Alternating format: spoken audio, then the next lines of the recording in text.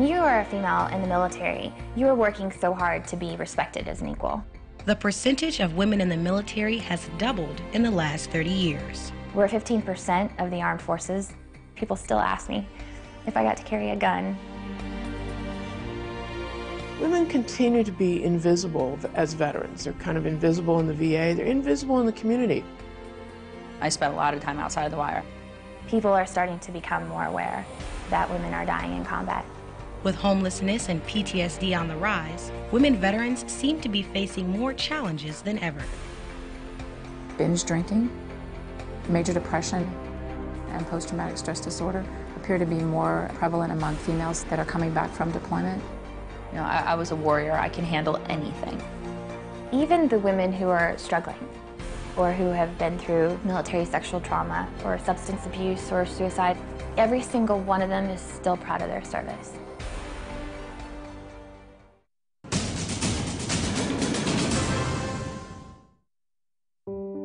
Women have been involved in America's armed forces from the very beginning of America.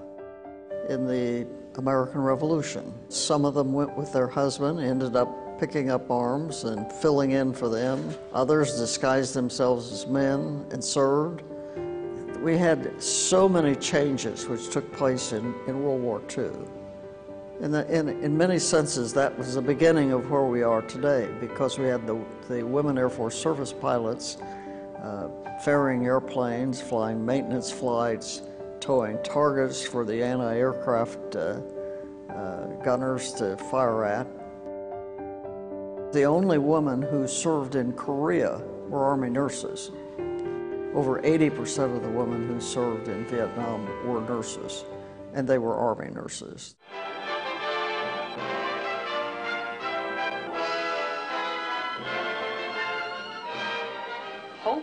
And cheer in the hearts of men, the purpose and meaning of Army nursing. When I came in the service in 1957, we were seven tenths of a percent. I didn't experience what the women do in Iraq and Afghanistan.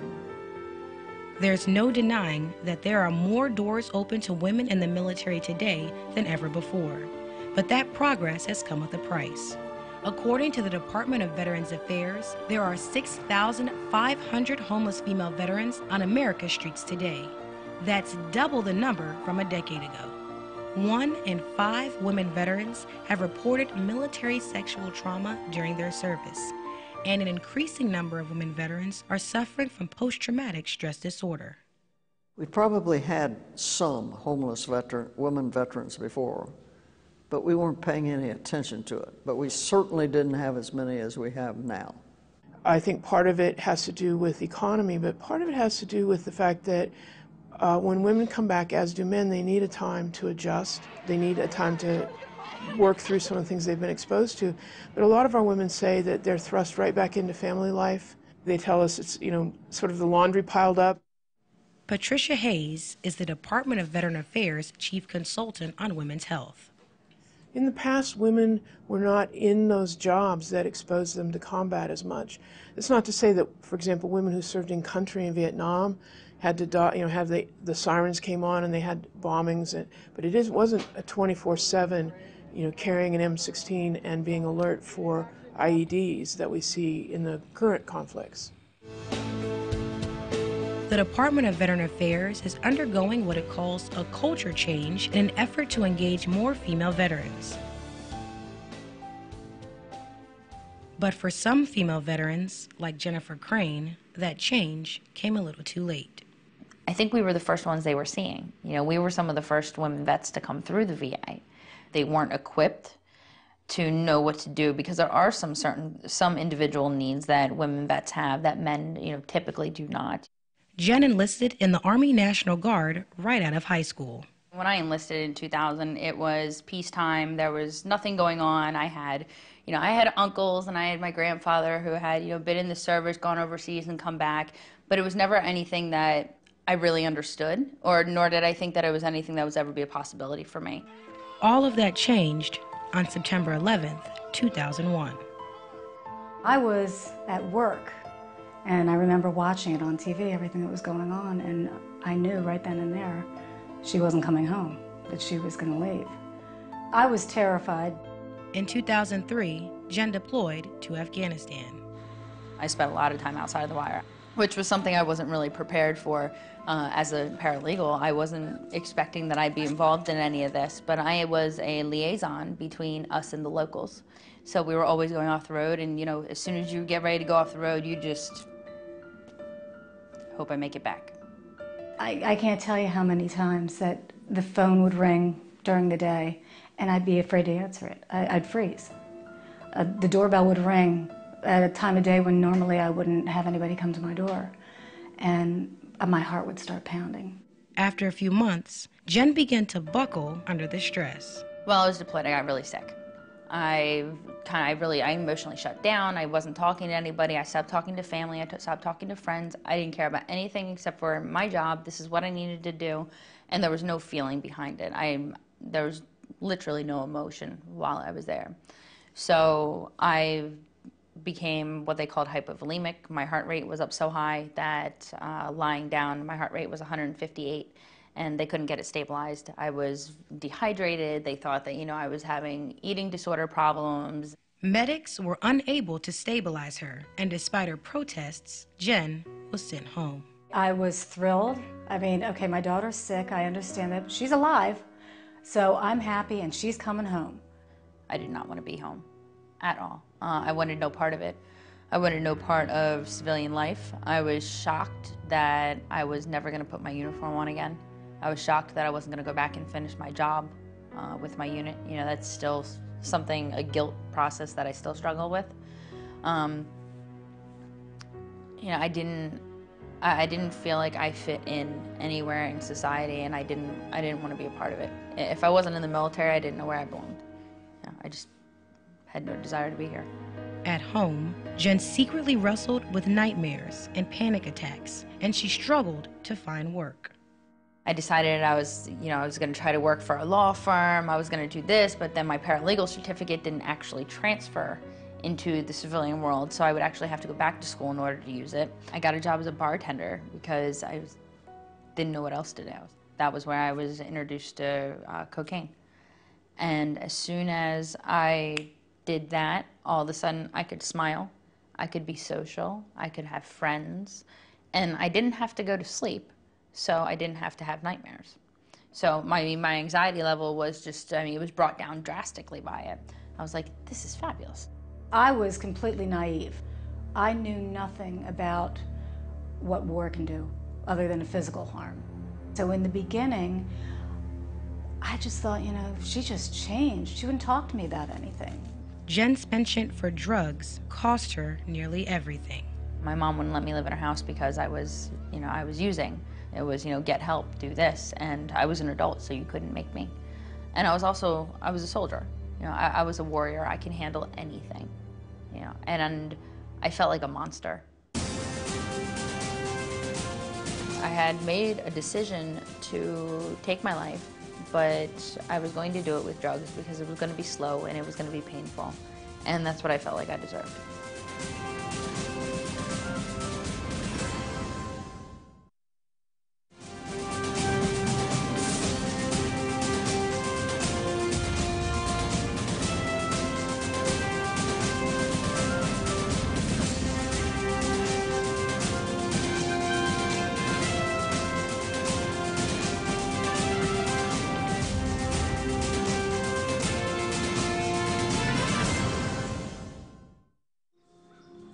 Felt like nobody knew what was wrong with me, and I didn't feel like anybody wanted to help, so I didn't want to be helped.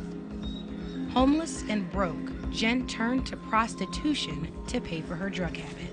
I just wanted it over, and I wanted no part of the life that my family and friends had here. I really didn't want any part of any life at all. I had made a decision to take my life, but I was going to do it with drugs because it was going to be slow and it was going to be painful and that's what I felt like I deserved. Fortunately for Jen, those plans were interrupted when police arrested her for drug possession. Handcuffs and shackles, go in front of a judge, and uh, the judge said, You don't belong here. I said, I know I don't. He's like, Well, it's like you can do your jail time or I can put you in a drug court program. The court assigned Janina Versa, a cognitive therapist with years of experience treating veterans, to help Jen complete the drug program. Janine says society often fails to recognize women as veterans. With women, um, the transition is a little bit harder. We still don't put them, we say we don't put them in combat situations or that they don't suffer the traumas of war the same way that men do. But um, I think that, especially the type of combat that we're in now, they're equal. It's probably the only place where men and women really are equal. Janine says PTSD and substance abuse often go hand in hand. I think it's common. I think, to me, it's kind of irrelevant which came first. You know, you're going to usually see them together. Jen credits drug court, her therapist, and her family with saving her life. When my drug court time ended, I told her, I said, you know, I'd really like to continue seeing you. And uh, she says, you know, well, you can. I said, I don't have any money. That's when she told me about Give an Hour. She says, you know, there's this organization. They provide free mental health care to vets and their families. Today, Jen is the national spokesperson for Give an Hour and shares her story with people around the country. My name is Jennifer Crane. I am a combat veteran of the United States Army. At only 26 years old, most people don't look at me and see a war veteran. By standing here today, I am proof that war veterans come in all shapes, sizes, ages, races, and sexes. I now travel the country and I give lectures at colleges and universities um, about being a war veteran, being a woman, and having post-traumatic stress disorder, and about how you know it's uh, you know I still have a life today, even after everything I went through. Jen recently took part in Give an Hour's female veterans event, Fatigues of Fabulous, at New York City's Fashion Week. Uh, that was nuts. Being backstage at Mercedes-Benz Fashion Week was something I, am I, am five foot four, okay? like I'm just, I, am not a supermodel. Um, I never thought that it would be something that I'd do. The big part about it was that women come home and they don't know how to be a woman. So it was like the biggest, you know, hooray for women, you know, be proud of being a woman and you can be fabulous in, you know, women clothes, not just in your fatigues. So it was just, um, it was amazing. As the Department of Defense, we can't endorse one organization over another. Uh, but we will, you know, we, we do support evidence-based treatment. If, if, an individual comes to us and tells us about a, a, great program, we'll encourage them to continue if it's helping them. And certainly, you know, it's better for somebody to seek treatment than to not seek any treatment. Jen continues to get treatment for PTSD, but she says it's her family that really keeps her going. She's found her life again. She's happy. She'll struggle, she'll have her moments of struggle, but she knows where to go now. Yeah, I have a very close relationship with my family. I'm married. I have you know a beautiful daughter, and she's just the light of my life. And it's honestly, it's really because of her that I work so hard. You know, if it were just me, I don't know that I would, but she gives me a reason. Then I heard about a woman who was asked to leave a PTSD peer support group because they said that there was no way she was in combat because women didn't serve in combat. And I thought, that has to change.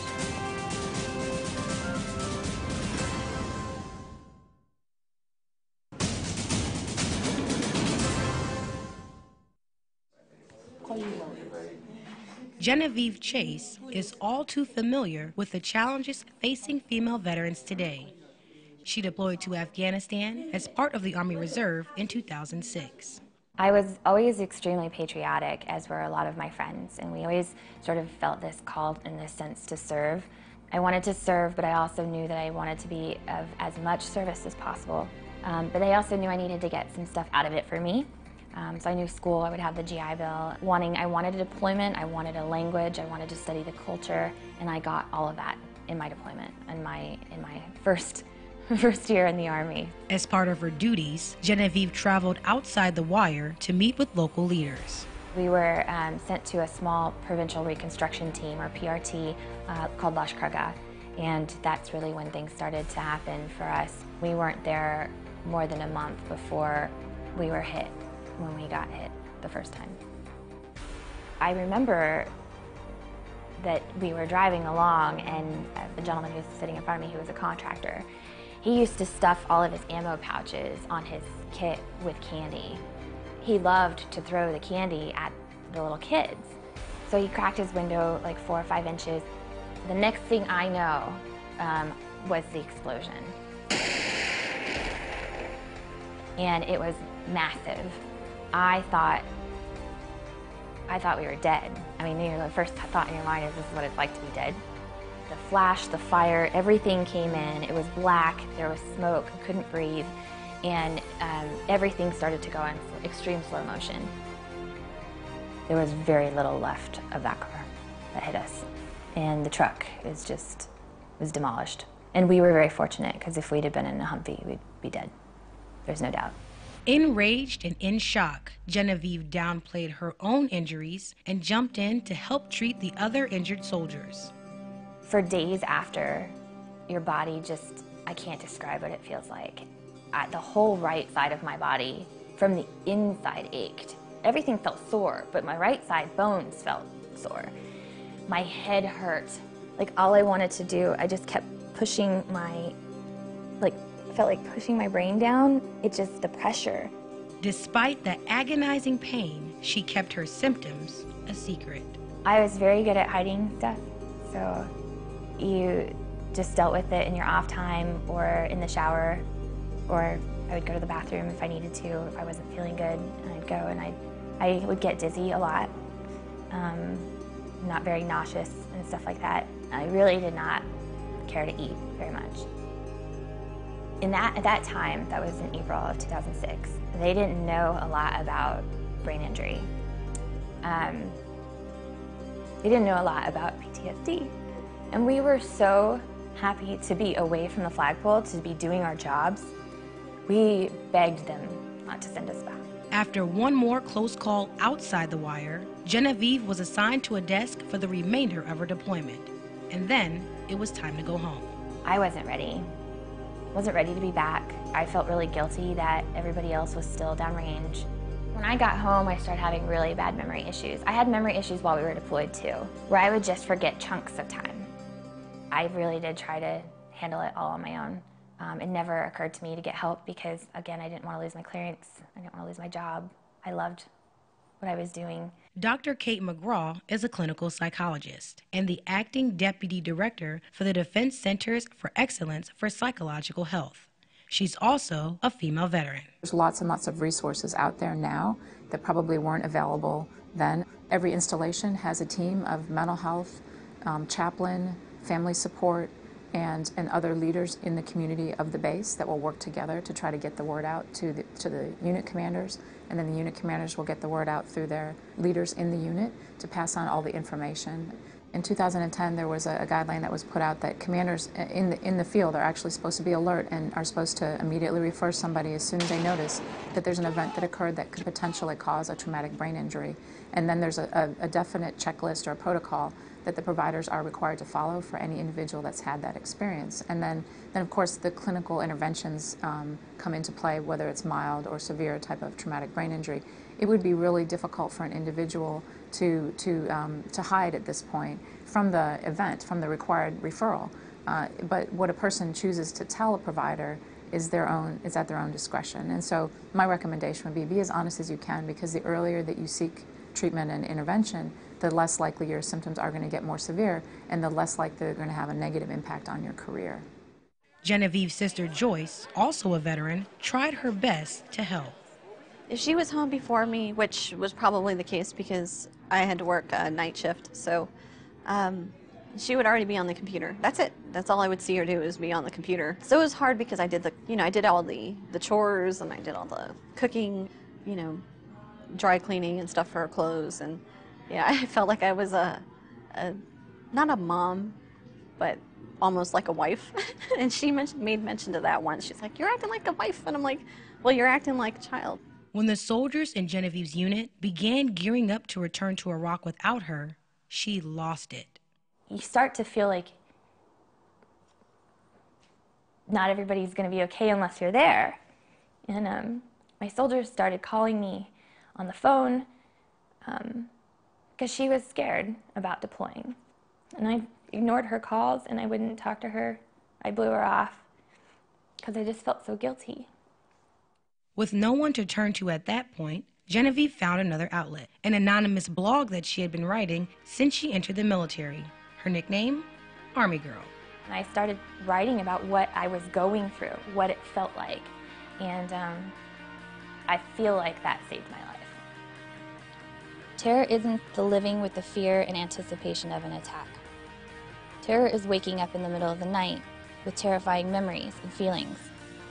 It's the times when you're so overcome by fear, grief, guilt, shame, and helplessness, loneliness, rage, that you can't breathe or see or think. It's losing your fear of your own safety and acquiring a death wish. I think when I woke up the next morning, I thought, you're an idiot. Like, if you're going through this after one deployment, what do you think they're going to be dealing with when they come home from Iraq? And so that motivation is what got me up. Out of her despair, Genevieve found new purpose, helping other female veterans like her. In 2006, one news article in particular caught her eye. Then I heard about a woman who was asked to leave a PTSD peer support group because they said that there was no way she was in combat because women didn't serve in combat. And I thought, that has to change. Genevieve formed her own support group and began advocating for women veterans by talking to anyone who would listen about her own experiences with traumatic brain injury and PTSD. But even with all of these services, women must know they are eligible. They must be enrolled and they must have access to the VA. These days, the Department of Veterans Affairs is working alongside private organizations and veterans like Genevieve to better meet the needs of women as they return from war. But in the VA, we want to make sure that a woman who comes in who's with other people, that somebody doesn't think she's somebody's spouse, you know, somebody's mom, but rather that she could be the veteran and probably is the veteran. You can still be a really strong soldier and you can still seek help, and we will respect that. It's not a sign of weakness. It's actually a sign of strength to, to come for help. Genevieve's gradual recovery has been especially hard on her sister. There's no time period. There's no like, um, okay, well, in two years she'll be better. It's a, it's kind of a growing process. We've done a couple of these um, interviews, and, and with me going with her, that was the only time I got to hear um, how she was feeling or you know what actually happened. It was pretty hard because I mean, um, I wish she would have told me.